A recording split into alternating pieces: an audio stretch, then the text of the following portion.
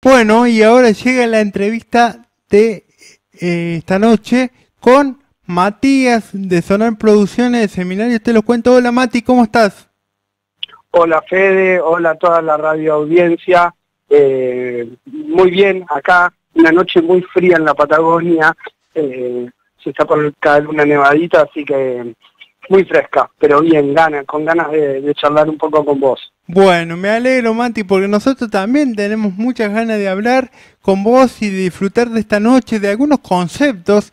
Y bueno, para ir introduciéndote introduciendo la charla y las historias, comencé, comenzar un poco cómo se ocurrió esta idea de hacer los seminarios, te lo cuento en primera, en primer lugar, ¿no? Estos seminarios que yo también participé y que estuvieron bárbaros, ¿no? Eh, contame un poco cómo surge esta idea de los seminarios. Bueno, mira, esto arranca en el mes de mayo, en, plena pandemia, obviamente. Eh, yo hace ya varios años que trabajo con Luis Robinson, armonicista de Papo, de la Mississippi, y, y bueno, y con Luis nos vimos en, en la, necesidad de empezar a hacer cosas eh, vía virtuales, porque nosotros estamos muy acostumbrados a salir a tocar, obviamente, vivimos de eso, entonces, bueno, había que encontrarle una vuelta a toda esta situación. Y, bueno, y con, surgió la idea de hacer esto, de contar un poco cómo fue que se grabaron ciertos discos para nosotros muy importantes para la música y la cultura argentina, ¿no es cierto? Entonces, eh, el primer seminario fue de él, justamente, donde él pudo contar cómo, cómo grabó Tarea Fina con los Redondos, eh, los discos con la Mississippi, ni hablar con Papo. Y bueno, y a partir de ahí eh, no nos detuvimos y bueno, y, pasó a, pasaron estos 15 seminarios de los cuales vos fuiste parte de varios de esos, ¿no es cierto?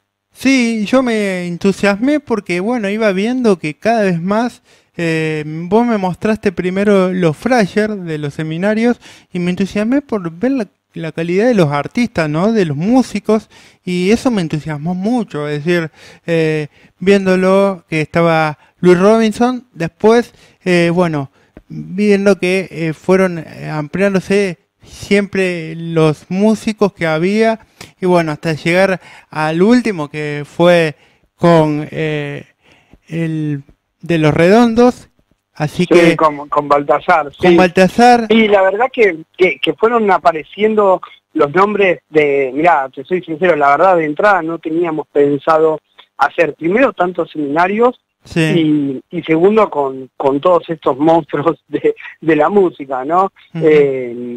Fue apareciendo, eh, lo hicimos con Rino Raffanelli, eh, el, cual también es un, es un colega, es un, gran bajista, y bueno, y él había elegido instituciones, un, disco trascendental en la música argentina, de, estoy hablando de Sui Generis.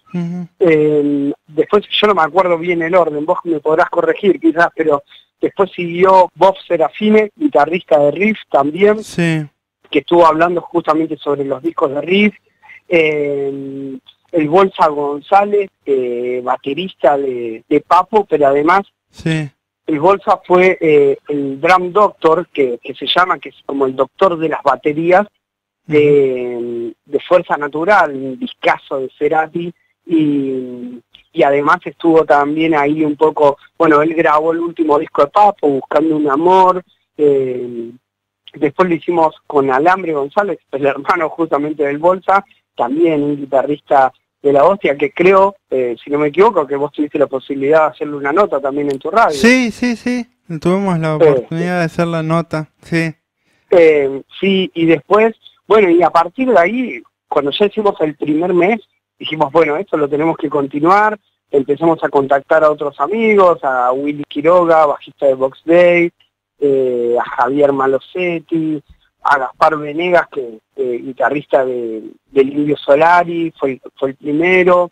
Eh, la, verdad que ya se me fueron un par, pero digo, bueno, estuvo muy interesante, más allá de que aparecieron un, montón de, monstruos, estuvo muy interesante el, el seminario en sí, esto de que la gente pueda escuchar de primera mano cómo fue que grabaron estos discos, qué equipamiento usaban, anécdotas que, que vos has escuchado, eh, cosas muy divertidas que han pasado en los procesos de grabación, de composición de los discos, eh, y después, bueno, todo lo que tiene que ver con, con el detrás de escena que uno a veces, al, ser fan de, esta música, le, encanta escuchar, ¿viste? Así que la verdad que salió muy lindo, tuvimos la posibilidad de, tener gente de casi las 24 provincias, hubieron dos o tres provincias argentinas nada más que, no hemos tenido inscritos, pero después de la mayoría de la Argentina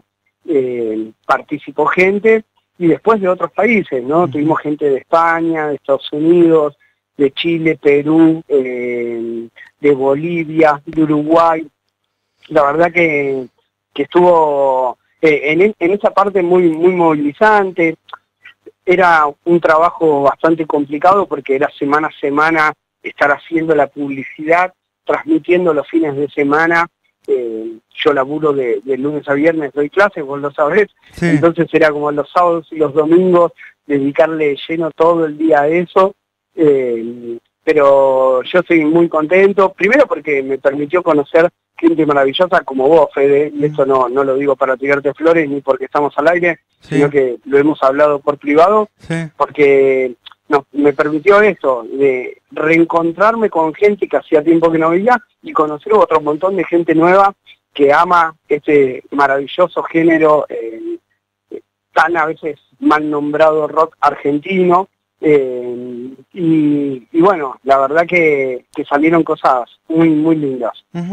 Y no sé si fue con la intención o, tal vez fue un poco menos pensado, pero apostaron y se notó mucho, por lo menos yo lo noté mucho, el tema de los artistas históricos, ¿no? De apostar en la historia del rock, apostar en la historia de la música, más allá de que los artistas actuales hayan pasado también por el seminario, hubo muchos artistas que formaron parte de esta historia impresionante que tiene la República Argentina en cuanto a nivel nacional de rock, ¿no? De la música. Y eso se notó mucho, ¿no? Con artistas eh, como Willy Quiroga, por ejemplo, que estuvo ahí en el seminario, y bueno, aportando ustedes y ellos también a la historia del rock nacional nuevamente, que creo que es eso que, eh, a mi entender, falta conocer a muchos jóvenes de, de la actualidad, ¿no? Sí, sí, es, es, es así, tal cual como lo que decís, Nosotros eh, esto eh, empezamos primero, viste, como con, con, los músicos que tenemos más relación y, y después eh, se fue apuntando a esto, a decir, los, sobre todo lo que tiene que ver con la fundación del rock argentino, eso era lo que nosotros queríamos demostrar, o sea, que la gente sepa cómo Abel Pinto grabó el último disco, la verdad que para mí es un poco trascendental eso, ¿viste? O sea, no, no es tan importante. Pero, pero no porque por menospreciar el, trabajo de Abel Pinto o de cualquier otro artista, ni un dedo, sino que lo que nosotros tratábamos de remarcar es que en esa época, porque estamos hablando de lo que fue la década del 60, del 70, de los 80, eh, la Argentina y el mundo en sí, pero vivía otra situación totalmente distinta a la de ahora. Los equipos eran muy difíciles de conseguir acá en la Argentina, y hablo de amplificadores, de pedales, de guitarras. Entonces, todas esas cosas eh, hicieron de que los tipos hicieron obras de arte, porque realmente los discos son espectaculares. Eso que decís de Will Quiroga, el disco La Biblia, es una obra eh, espectacular, es como Artaud de Spinetta, ¿viste? Como eh, Octubre de, Los Redondos, son discos impresionantes que da para escucharlo de punta a punta. Y, una de las cosas que, nos permitió fue que ellos cuenten cómo se la rebuscaron para poder hacer eso. Claro, eso es lo interesante que tiene. Es como que, claro, claro, porque hoy, hoy en día tenemos mucho más fácil acceso a que uno tenga una placa de sonido, de que puedas eh, conseguirte un amplificador que suene bien, ni hablar de comprar instrumentos de buena calidad y, de forma más accesible. Entonces, eh, en esos momentos, ellos se repartían los equipos que llegaban a la Argentina, que eran contados con una mano, Y además, eh, no sé, yo me acuerdo una vez una anécdota de, eh, de Claudio Gavis, que no hicimos seminario con él, pero eh, que actualmente, bueno, guitarrista de Manal, ¿no es cierto? Vive en España. Y hace algunos años atrás tuve la posibilidad de tocar con él y él contaba cómo fue que consiguió la primer guitarra, una Epiphone, que se la había prestado Pipo Lernois, que es el que compuso Ayer No Más, un, tema clásico también del rock nacional, digo, y él había cobrado unas regalías por eso, entonces le se compró una guitarra y esa guitarra se la prestó a Claudio Gávez y con eso formaron Manal, que Manal es el primer grupo de rock en castellano en la Argentina. O sea, estás hablando del comienzo absoluto. Y vos mirá, el tipo para poder tocar la guitarra y armar un trío de lo que fue Avellaneda Blues, Una casa con diez pinos, Jugo de tomate frío, digo, todos esos clásicos, los locos fue a través de toda una historia que consiguieron su primer guitarra, ¿viste? Entonces, para mí es maravilloso que la gente se entere un poco de eso y cómo fueron armando eh, con herramientas muy básicas obras de arte, porque así lo considero. Claro, y aparte, cuando me dijo, yo le pregunté a Rino Raffanelli sobre la difusión en esos años, y había muy poca difusión, ¿no? Totalmente, totalmente. Eh, esto, Fede, que haces vos, que es, que es maravilloso, loco, que haya un programa, primero de, las varillas, que, eh, yo viví muchos años en Córdoba, vos lo sabés, eh, y, y, sé que Las Varillas es un pueblo del interior de Córdoba. Digo, que haya una radio que se dedique a pasar rock, ¿entendés? Que se dedique a, reivindicar el laburo que hicieron esos tipos, es maravilloso. Pero hace 30 años atrás no existía nada de eso. Existía, lo sumo, una revista de rock, ¿entendés? Que podía ser pelo, ¿viste? O algo de eso. Digo, y después existían dos o tres programas de radio nada más. Ahora tenemos la, la posibilidad de que la Argentina está llena de emisores de radio por todos los pueblos de todas las provincias argentinas. Y eso es maravilloso. Sí. Eh, eh, y es muy importante que pase, porque nosotros los músicos dependemos mucho de la gente que maneja los medios de comunicación y todos los medios de comunicación. No hablo de los grandes medios de comunicación, sino hablo de los pequeños, eh, que también que esas radios, los, canales de, aire también que tiene cada una de las ciudades en, el interior, eso es sumamente importante para la difusión del trabajo del artista. Así que eh, yo siempre digo que es, es un ida y vuelta, ¿no? Entre el artista y los medios de comunicación. Bueno, y justamente hablando de los artistas, siguiendo con el tema de los artistas, bueno, yo te quería preguntar si le fue fácil eh, llegar a los artistas o también hubo un trabajo en conjunto también para un poco hablar con los artistas para convencerlos de que estuvieran en el seminario, eh, cómo, cómo, han vivido ese proceso también, ¿no? Porque es todo un proceso contactar a los artistas, eh, ponerse en campaña de como uno, eh, como quien dice, de, de, estar en contacto con ellos y de poder llevarlos al seminario para que cuenten eso, ¿no? Justamente sí, mira, en, en realidad esto es un, un trabajo en equipo que yo siempre digo, ¿no? Esto es una coproducción entre Luis Robinson, que, que es Cumico Producciones, y yo, que soy Sonar Producciones. Em, y Luis era un poco, eh, fue el encargado de contactar a cada uno de los músicos. A Luis lo conocen todos en el ambiente de la música, entonces eh, en la mayoría fue muy fácil conseguir el teléfono personal del artista eh, o del manager o del representante. Y, Luis era el que se comunicaba con ellos y, les explicaba un poco cuál era la idea de esto, qué era lo que estaba pasando, porque en realidad nosotros no es que en mayo lo planeamos y cerramos todos los artistas y, se hizo hasta, hasta el fin de semana, hace 15 días atrás, sino que lo que fuimos haciendo es durante la marcha, medio como que mientras transmitíamos un seminario íbamos arreglando para, para de acá 15 días ver quién, quién iba a estar, ¿viste? Entonces, eso fue es un laburo que, hacemos en conjunto, Luis se, encarga de, conseguir a los músicos y una vez de que tenemos el teléfono y el músico ya accedió a esto, eh, soy yo el que me empiezo a comunicar al, al teléfono personal del artista para explicarle cuál es la dinámica de eso, se hacen pruebas de sonido justamente para que las transmisiones no fallen después, el tema de la iluminación, ¿viste? Tratábamos de, ir controlando todas esas cosas para que los seminarios justamente eh, tengan la calidad artística, sonora que, nosotros queríamos que tenga.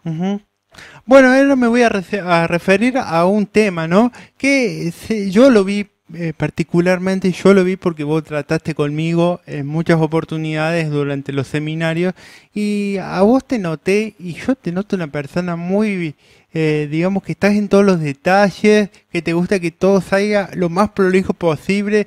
Eh, sos así siempre en tu trabajo, digamos que, que sos prolijo, ¿no? Se te nota prolijo, se te nota que estás siempre al instante de todo y al tanto de todo, ¿no?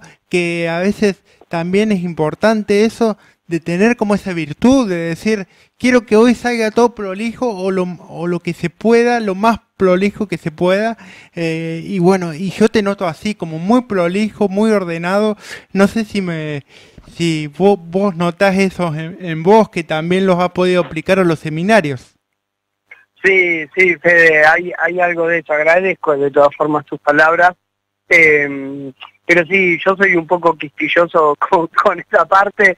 Eh, a veces es una virtud y a veces es un defecto, porque eh, eso de, llevarlo en ciertas, entre comillas, a, la perfección, te juega un poco en contra, ¿viste? Porque a mí me pasaba, por ejemplo, de que llegaba los viernes y los viernes a la noche y el sábado a la noche prácticamente que no descansaba porque me escribía gente a la madrugada. Uy, no te puedo creer. ¿Eso te pasaba? ¿Te, escribía gente a la madrugada?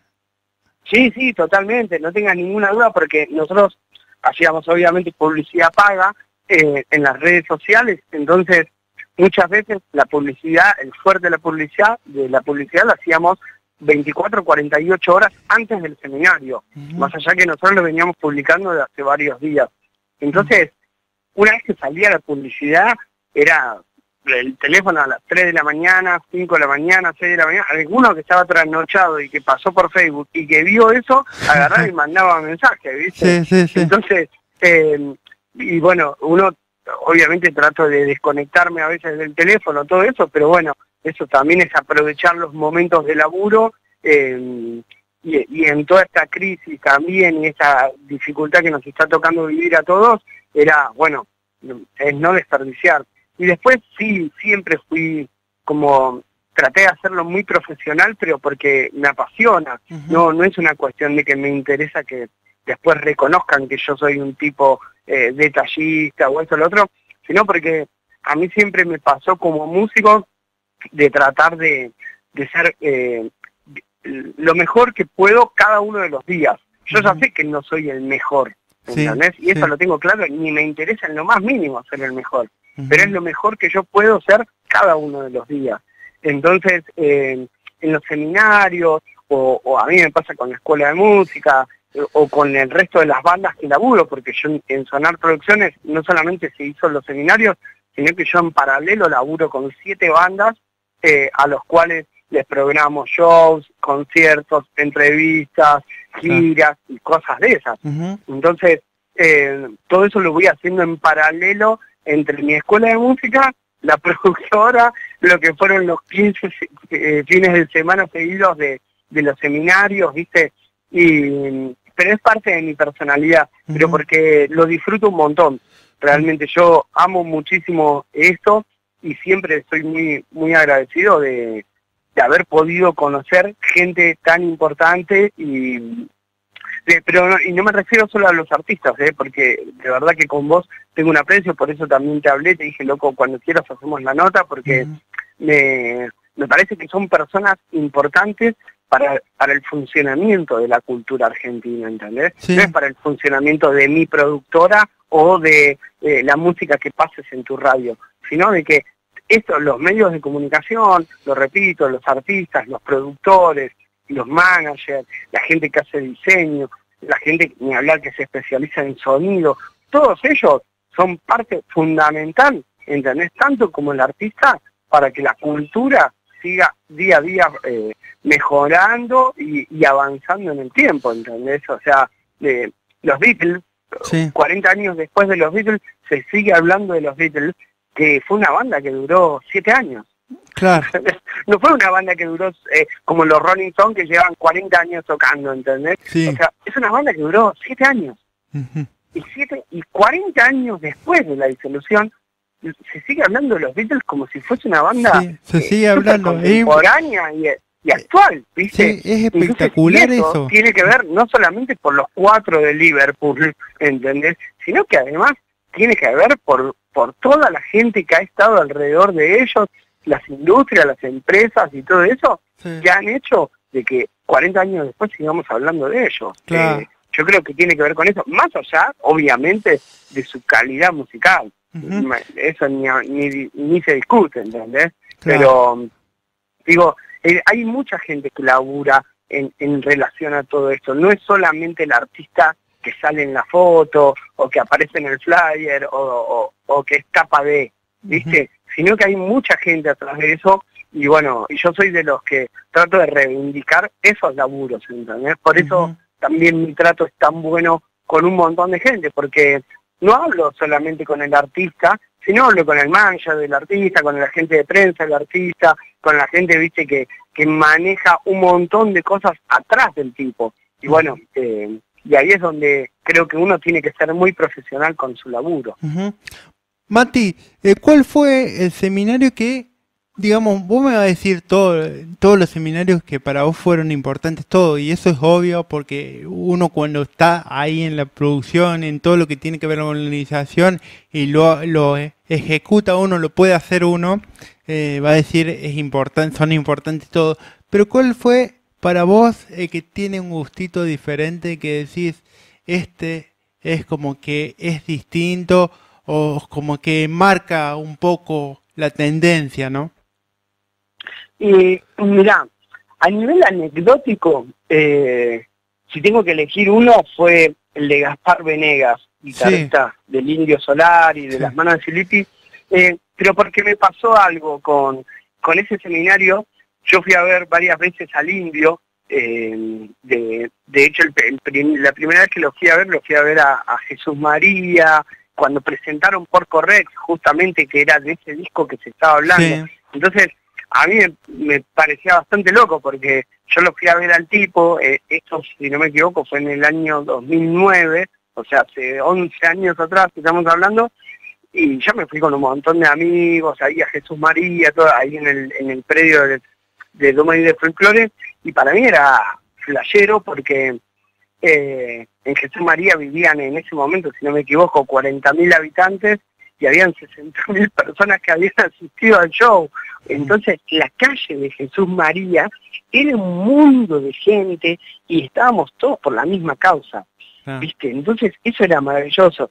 Y yo me acuerdo de, verlo a Gaspar tocando ahí, porque yo ya lo tenía el chabón de las manos de Filippi, de hecho había podido laburar con Gaspar hacía muchos años atrás en un show en Córdoba, ahí en Casa Babylon, en el Abasto, y, lo que más me, me, movió de, de ese seminario fue de que la gente, que vos creo que estuviste presente también, que había gente de Jujuy, gente de, de Ushuaia, gente de diferentes lados de la Argentina, y estaban escabeando, se hicieron la bueno, eso es lo que te quería... historia, como si fuese el recital en vivo. Claro. Y era una transmisión por Zoom, y yo no lo podía creer, y al final de los seminarios cuando prendemos las cámaras, y empezás a ver todas las caripelas, y toda la historia, eso es lo que te quería comentar. Claro, eso es lo que te quería decir también. Fueron gente que era como un pogo eso, ¿no? Como si tuviéramos en el pogo ahí alentando a la, a la banda, digamos. igualmente en los grupos yo lo, lo, notaba ya, ¿viste? Que marcaban diferencia algunos seminarios. Por ejemplo, el de Gaspar Vanega, eh, cuando ya había gente que integró los redondos de ricota o gente que integró a los fundamentalistas o todo el ambiente del ricotero bueno, ya se veía que había ese, como ese pogo, como ese ritual, ¿no? Sí, sí, totalmente, porque aparte lo que ha pasado con el indio, ni hablar los redondos, ¿no? Pero convengamos que los redondos se separaron hace 20 años, ¿entendés? Estamos hablando de que pasó muchísimo tiempo, ¿no? No es que, bueno, los redondos se separaron hace 3 años, entonces está todo muy latente. Separaron hace como 20 años. Entonces, eh, lo que, pero lo que fue pasando después con el indio, porque no es así con Sky, por ejemplo. Yo a Sky, el guitarrista de, de Los Redondos, ¿no? Digo, lo fui a ver muchas veces y siempre lo fui a ver en, en shows eh, de, no sé, 300 personas, 500 personas, 1000, ¿entendés? Pero el indio, las, yo lo fui a ver a, en Córdoba, después, hace un par de años, lo fui a ver a Mendoza, y, y éramos, no sé, 300.000 personas, 200.000, ¿viste? Más todos los que andan en la calle, más los que no entran, y yo el último show del indio yo me fui de mi casa pensando que volvía 48 horas después, porque yo vivía en San Martín de los Andes, en, la provincia de Neuquén, y me iba a Mendoza. y tardé una semana en volver a mi casa. y el show duró dos horas. O sea, desde que salí de mi casa hasta que volví, yo tardé una semana. Y el show duró dos horas. Entonces, lo que pasa alrededor de todo eso, que es eso de la misa ricotera, ¿no? El ritual, todo eso es maravilloso, loco. Eh, y después hubieron cosas que, que a mí me parece que están muy mal, que estuvieron mal organizadas en diferentes shows y cosas de esas, pero bueno, fuera de eso, lo que estamos hablando es de la calidad artística.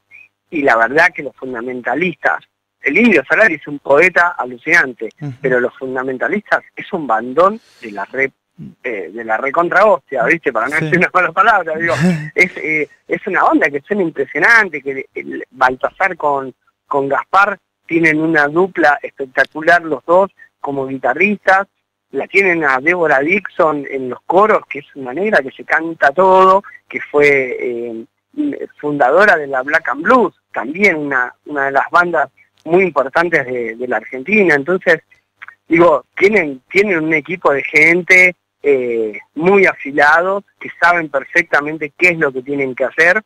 Y, bueno, con el capitán Solari ahí al mando de, este barco, ¿no? Sí, a mí me, eh, me sorprendió también lo que contaban, ¿no? Que dice, el indio Solari dice esto y nosotros vamos ordenando la, la guitarra, vamos ordenando todo. Eh, tenemos que estar a disposición también, pero él va como explicando y nosotros vamos haciendo y nosotros también metemos cuando podemos la cuchara para decir, eh, bueno, eh, también nosotros efectuamos lo nuestro.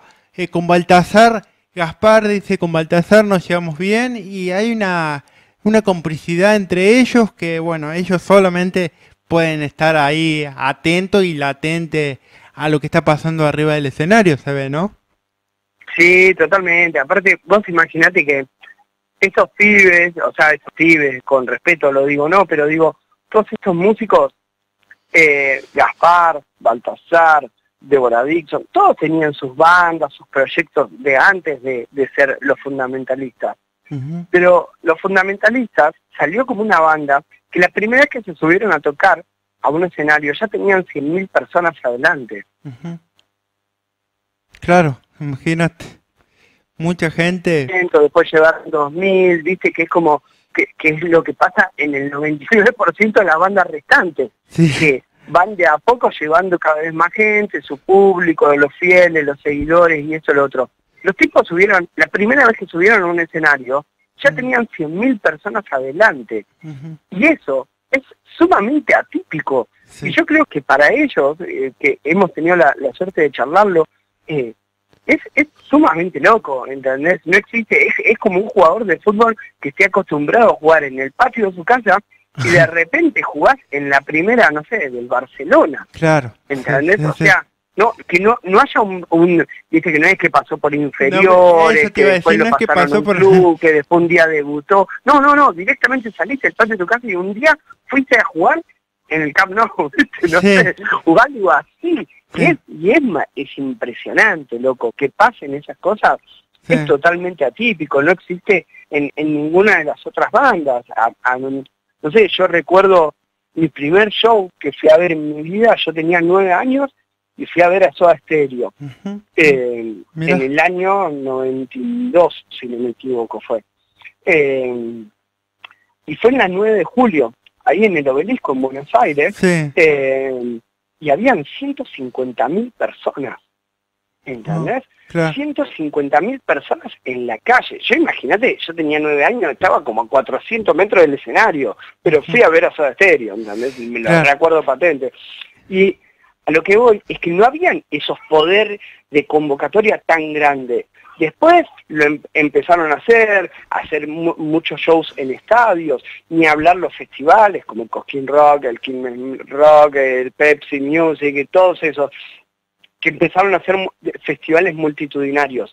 Pero ustedes son de una provincia donde se hizo la falda rock, que se hacía en la década del 70, y eran festivales mucho menos convocantes que lo que pasa hoy en día. Hoy en día yo veo este año en particular no, no fue así, digo, no, pero digo, el Cosquín Rock moviliza miles, cientos de miles de personas, ¿entendés? Es algo, es, muy, es muy loco lo que pasa, que, se, que pasa en otros países del mundo, pero no tanto como acá. ¿Entendés? Te lo puedo asegurar de que tengo amigos viviendo en Latinoamérica, en Estados Unidos, en Europa, eh, digo, y lo que pasa en la Argentina esto del fanatismo de seguir a una banda, eh, no sé, mi hermana es fanática de La Renga. Mi hermana fue a ver a La Renga no sé a cuántas provincias. Si vos me preguntás cuántas, a cuántas provincias se fue de vacaciones, uh debe haber sido dos o tres. ¿A cuántas provincias, cuántas provincias conoció yendo a ver un recital? Un montón. ¿Entendés? Y eso es totalmente atípico, loco, en la cultura. ¿Entendés? En la cultura a nivel mundial, que en la música pase eso. ¿Entendés? Y, y, ha pasado con Soda Stereo, ha pasado con Los Redondos, eh, y ha pasado en, menor, ni hablar con La Renga, digo, ¿no? Y ha mm. pasado en menor escala con otro montón de músicos, mm. eh, papos sin ir más lejos, ¿entendés? Entonces, digo, es, el público argentino, eh, pero no solamente el público porque es el que compra la entrada, sino el fanático, eh, loco lo sigue a todos lados, se lo tatúa en la, en la piel, ¿entendés? Te compras la remera, tenés el disco y el disco lo cuidás como oro. Si te robaron el auto no te calentás tanto, perdiste el disco y te querés matar.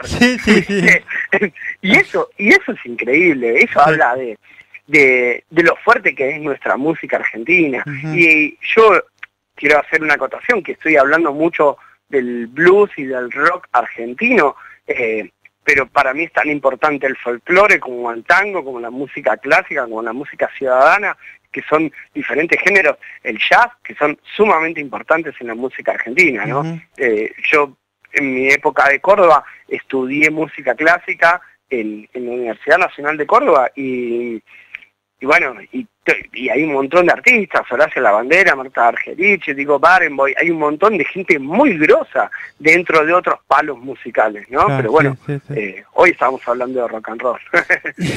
bueno, y eh, a vos te vi en fotos que sacaste foto con, con Chizo, eh, te viene una foto con Chizo de la Renga. Contame esa sensación de tener a un semejante músico, semejante artista al lado, ¿no? Mirá, eh, Sí, tengo fotos con, con un montón. Em, la de Chizo fue muy loco. Yo me estaba yendo para Chile. Eh, estaba haciendo un viaje con, con, mi familia para Chile y freno en una estación de servicio, así en una IPF de al costado de la ruta, eh, acá en la Patagonia. Y, y cuando estoy esperando que, que me llegue mi turno, porque tenía un auto adelante, frenan tres Harley Davidson al lado del auto, viste que era imposible que no te llame la atención, porque eran tres motoqueros con campera de cuero, todo el casco, todo, con tres Harley Davidson. Entonces ya miraba las motos y todo. Y en un momento veo que uno de los locos se saca el casco. Este, digo, ese hechizo. Pero yo tenía la duda, ¿viste? Porque encima fue en la época que Chizo se cortó el pelo lo tenía recortito, entonces uno está acostumbrado a ver la foto de pelo largo, digo, hechizo no hechizo, ¿viste? Y dudaba, porque encima entre la campera, el pañuelo, toda la historia. Entonces agarro y bueno, yo justo me sale el auto de adelante mío y tengo que adelantar mi auto, entonces le digo a mi suegra, digo, andé preguntarle si él hechizo. ¿viste? y yo mientras manejaba el auto. Y entonces se baja mi suegra del auto y se acerca y me dice, hola, discúlpeme, ¿usted es Chizo? Y dice, y, él la mira y le dice, dicen que me parezco a él. Entonces ahí me di cuenta que era Chizo. Entonces me le acerqué y le digo, Chizo, loco, la verdad que no lo puedo creer, y tenerte acá. Me dice, mira, por favor te pido, dice, no levantemos la perdí, me dice, porque si no le empiezan a tosigar a fotos, todo. Dice, hace cuenta eh, que, estamos hablando de la moto, ¿viste? De la Harley Davidson, como que yo era un fanático de las motos. Bueno, vale. Y me puse a charlar ahí un momento con él y, en un momento le pedí una foto, ¿viste? Entonces nos sacamos una foto. Y yo tenía a mi hijo que tenía, no sé, menos de un año, eh, tenía seis meses, ocho meses, y, le digo, pará, lo voy a buscar a mi hijo al auto y se tiene que sacar una foto con vos, ¿viste? Por favor. Entonces fui, corrí el auto de, ahí del surtidor, lo busqué, lo bajé a Benicio del auto eh, y lo subimos en la ahí y bueno, y Benicio estaba sentado en la Harley Davidson de Chizo y, está Chizo, mi, hijo y yo.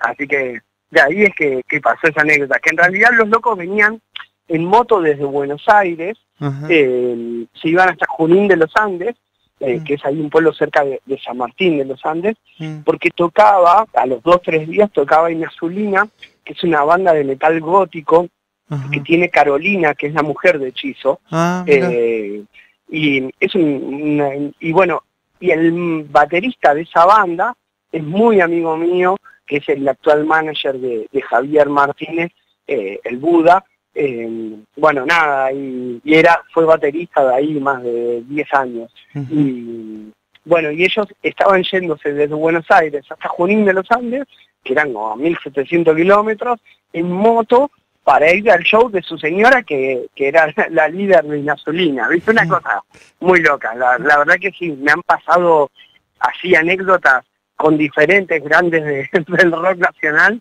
Eh, de, no sé, una vez terminé acostado en el colchón donde murió Luca Proda, para oh, mira, a, ese punto, en el taller mecánico de la casa de Papo, eh, no, tremendas anécdotas, tremendas historias. Sí, sí, muy divertidas, porque aparte, yo, más allá de ser músico o productor, soy fan de todo eso, ¿entendés? O sea, yo a todos los músicos que, que, hice seminarios, yo tuve la posibilidad de ir a verlos en otro momento. En una época de mi vida, cuando tenía 18 años, desde los 18 hasta, no sé, los 30 años de edad, más o menos, yo me dediqué a ir a recitales de todo tipo. Y los fui a ver a todos, así, a todos, desde Pineta, Charlie León, eh, viste, los fundadores del rock argentino de Memphis, ni hablar todo, Papola, Mississippi, y después muchas bandas de afuera, eh, los Rolling Stones, Eric Clapton, The Wild, eh, Robert Plant de, de Led Zeppelin, o sea, fui a ver un montón de bandas de afuera y bueno, entonces, hoy en día, a veces poder laburar con alguno de estos tipos, los cuales yo pertenecía al público que estábamos ahí abajo, haciendo un poco, ¿entendés? Como decías vos, eh, para mí es un, es un verdadero placer. Bueno, ¿y, ¿y habrá segunda vuelta, segunda parte en estos seminarios? ¿Te lo cuento? Mira, eh, hay, hay, hay una, hay una idea muy, muy linda que es que Primero porque todos estos seminarios están grabados, todos los, los 15 seminarios que hicimos, estamos, los tenemos todos eh, grabados. Pero además, en este momento lo que estamos haciendo es eh, ofrecerlo a diferentes municipios eh, de toda la Argentina para poder rehacer otra vez estos seminarios ya auspiciados por municipios, porque... ¿Que antes no lo habían hecho? ¿Antes no lo habían hecho? No, no, no, no nada, eh, antes sí, los 15 seminarios que hicimos fue una coproducción individual de cada uno de nosotros em, y, súper independiente, ¿viste? Y bueno, y a nivel costos y todo eso es mucho laburo, em, mucha inversión de, tiempo y, y, muy poco rédito de dinero, porque sabemos de que la situación está muy complicada en la Argentina, sabemos de que hay mucha competencia en cuanto a streaming y cosas así, entonces también mucha gente le parecía interesante lo que hacíamos, pero no se conectaba el sábado a la tarde a ver el seminario como lo hacías vos, ¿entendés? O un domingo a la tarde. Entonces, eh, lo que estamos tratando de hacer ahora es justamente a través de, algunos municipios eh, poder rehacer estos, estos seminarios y eh, aumentar porque tenemos otro montón de artistas en la lista que, que no, no salieron en esta primera tanda. Así que estamos ahí laburando en eso y, con intención de que, de que vuelvan porque quedó mucha gente eh, muy enroscada, así como vos, eh, hubieron también otros participantes que participaron en muchos seminarios y, se hicieron como fan, ¿viste? Entonces, eh, son los que me escriben y me dicen, che, Maxi, ¿cuándo otra vez, loco, otro seminario que esto que lo otro? Así que estamos ahí, estamos laburando en eso y ojalá pronto pueda tener noticias. De, de hecho, ya te lo anticipo, que cuando tenga noticias te voy a llamar a la radio en vivo y vamos a comunicarlo a la gente. Eh, vamos a dar la primicia en tu programa, te prometo eso. Bueno, muchas gracias Mati. Eh, un último mensaje para toda la gente y ya para despedirte. Dale, tranquilo. Eh, bueno, nada, en realidad es primero que todo agradecerte, Fede. Me, me parece que, vos también sos una persona muy profesional eh, en tu laburo, loco, más allá que nos conocemos hace un par de meses, digo, eh, siempre fue muy, muy lindo poder laburar con vos. Eh, agradezco a vos, loco, al operador de la radio, a, a toda la gente que realmente hace esto posible, para que para nosotros es sumamente importante, no, no es algo, viste, bueno, en vano, no, no, no, es sumamente importante y y la verdad que mi, deseo es que podamos volver a los escenarios pronto, eh, con todos los cuidados, protocolos y, que haya que, tener en cuenta, pero volver a, tocar, porque hace muchas ganas. Además de que hace mucha falta, hacen muchas ganas, ¿viste? Eh, estamos muy acostumbrados a esto y todos estos tipos, eh, que los que pasaron por los seminarios, son tipos que se dedican a vivir arriba de un colectivo o de tocar todos los fines de semana desde hace, no sé, 15, 20, 30, 40 años. ¿Entendés? Entonces, es la primera vez en la historia, a mí me pasa que en, hace 18 años que me dedico profesionalmente a esto, es la primera vez que en 6 meses, 7 meses, no salgo a tocar ni una vez. ¿Viste? y es, es como una sensación eh, antinatural, porque uno ya está acostumbrado al bar, a la noche, a la prueba de sonido, a la trasnochada y todas esas cosas. Y la verdad que lo que deseo con todo mi corazón es que podamos volver pronto a los escenarios y, que la gente pueda empezar a, a, volver a disfrutar de la música en vivo. Lo que ha pasado en la cuarentena estuvo buenísimo, pasaron muchas cosas muy lindas en, cuanto a los streaming, a esto de los seminarios, pero otro montón de cosas que no hicimos nosotros, digo, ¿no? Em, pero bueno, no hay como la música en vivo, ¿no? Exacto. Es como... Estamos esperando todo eso, ¿no? ¿Cómo? Estamos esperando todo eso, que vuelva la música en vivo. Claro, yo creo que, que eso es algo importantísimo para el público, para los artistas. Eh, en la Argentina solamente entre personal de que trabaja en iluminación, sonido, toda la historia, hay 500.000 puestos de empleo. Estás hablando de medio millón de personas que dependen de la música en vivo. Entonces, realmente eh, es, es, un golpe para mucha gente porque son 500.000 familias. Entonces estás hablando de 200, viste, de 2 millones de, de habitantes de la Argentina que depende su plato de comida del show en vivo. Entonces, eh, realmente es, muy difícil y obviamente entiendo de que hay que cuidarse, entiendo de que hay que respetar todas estas medidas que se están tomando, eh, pero bueno, creo que también estamos en un momento donde ya no hay mucha espalda para seguir aguantando y por lo menos en, mi opinión personal, ¿eh? creo que, que hay necesidad de la gente de volver a encontrarnos con distancia, con cuidados y todas esas cosas, pero de volver a escuchar una guitarra sonar en vivo. Eh, es, es necesario. Dale, Mati, muchas gracias. Y bueno, nosotros dos nos estamos en contacto para ver qué pasa con estos seminarios, ¿no? Y desde ya te agradezco todas las palabras hacia mí. Y bueno, nos reencontramos en el camino de la música, ¿sí? Claro que sí, Fede. Un fuerte abrazo a vos, a toda la gente eh, que está escuchando la radio en este momento. Eh, gracias. Y loco, te mando un fuerte abrazo y bueno, estamos al habla muy pronto. Chao, Mati, un abrazo para vos. Chao.